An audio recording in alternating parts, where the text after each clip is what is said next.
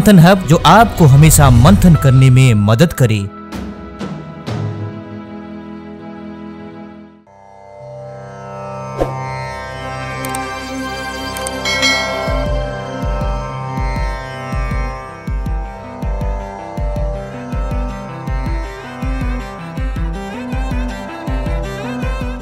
अथर्व वेद के इन दोनों ज़बरदस्त श्लोकों को समझाते हुए हम आज की दिलचस्प वीडियो प्रस्तुत करने जा रहे हैं। रुजन परिरुजन, मृणन परिमृणन, मृको मनोहा, खनो निर्दाह आत्म दुषित तनु दूषी ही, ये काम व सेक्स रोगी बनाने वाला है।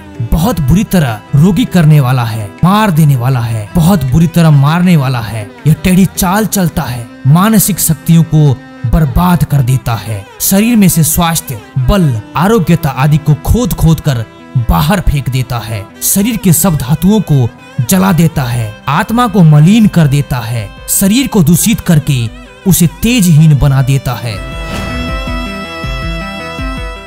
अति सृष्टो अपा वृषभोति सृष्टा अग्नयो दिव्या इदम तमति सृजामितम माभ्यमनिक्षी अर्थात शरीर में फैल रहा वीर रूपी जल को बाहर ले जाने वाले, शरीर से अलग कर देने वाले काम को मैंने दूर हटा दिया है।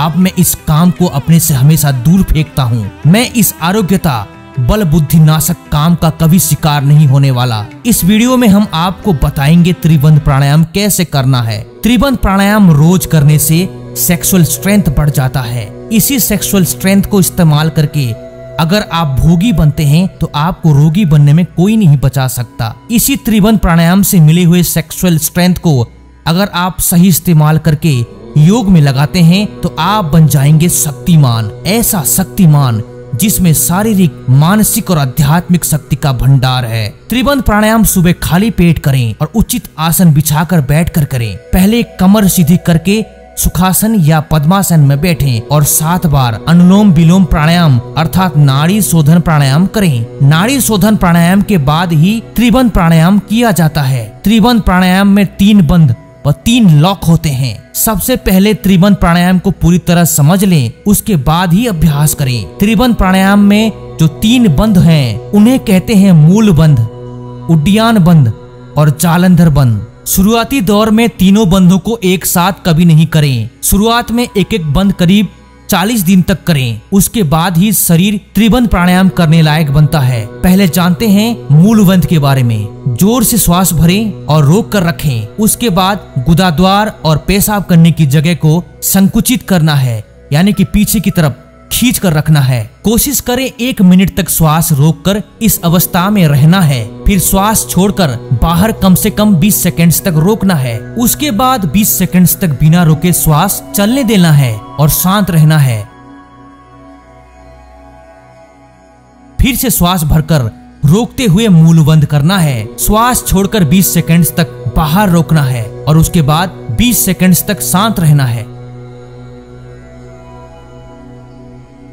इस प्रक्रिया को 10 से 15 बार दोहरा सकते हैं। मूल बंद से काम वासना पर नियंत्रण होता है और सेक्सुअल एनर्जी ऊर्धगामी व ट्रांसमिट होती है। मूल बंद से कुंडलिनी शक्ति का केंद्र मूलाधार चक्र जागृत होता है। इस क्रिया को करते वक्त ये भावना होनी चाहिए, कामोत्तेजना का केंद्र मूलाधार से ऊपर उठकर मेरुदंड होकर ऊपर रेंग रहा है और सहस्रार चक्र में पहुँच गया है।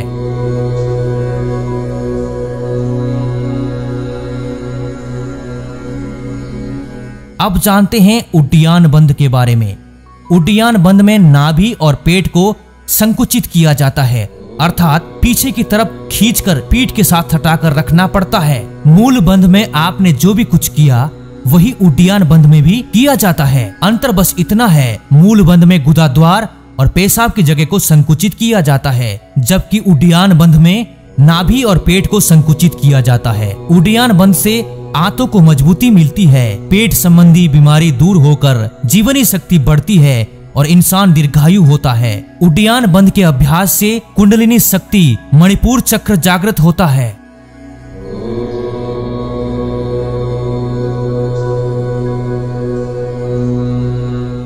जालंधर बंद में थोड़ी बच्चिन को गर्दन के नीचे दबाकर रखना पड़ता है। मूल बंध में जो श्वास रोकने छोड़ने की तकनीक है, उसे यहाँ भी प्रयोग करना है। अंतर इतना है, यहाँ आप ठोड़ी को गर्दन के साथ नीचे छाती की तरफ़ दबा रहे हैं। जालंधर बंद से अहंकार पर जीत मिलती है और मानसिक एकाग्रता बढ़ती है। जालंधर बंद से कुंडलिनी शक्ति का केंद्र विशुद्धा चक्र जागृत होने में मदद मिलती है। इन तीनों बंधों को अलग अलग कम से कम 40 दिन तक अभ्यास करें। उसके बाद आप तीनों को एक साथ कर सकते हैं। जब तीनों को एक साथ किया जाता है, उसे कहते हैं त्रिबंध। उसके लिए आपको अच्छे से श्वास भरना है और रोकते हुए गुदाद्वार, पेट और ठोड़ी तीनों को एक साथ लॉक करना है। जैसा हमने बताया है, एक मिनट तक का त्रिबंध प्राणायाम किसी चमत्कार से कम नहीं है, क्योंकि इससे छह महीने में ही सुपर ह्यूमन क्वालिटीज आने लगती है। श्वास छोड़कर बाहर रोकना है 40 सेकंड्स तक, फिर 20 सेकंड्स तक बिना रोके ही शांत रहना है।